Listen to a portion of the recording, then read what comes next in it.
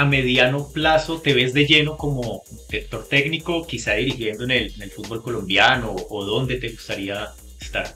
Sí, claro, esa es, ese, es mi meta.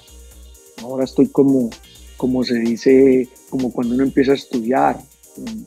Primaria, estamos haciendo la primaria, secundaria, ya llevo ocho años dirigiendo niños, he dirigido niños desde nueve años hasta, hasta 17, 18, que son los, el equipo que tengo ahora.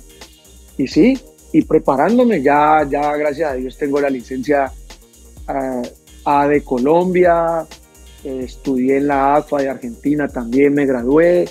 Entonces, vamos paso a paso y, bueno, estamos ya en secundaria, esperemos algún día eh, tener la posibilidad de, dirigir en mi gran sueño.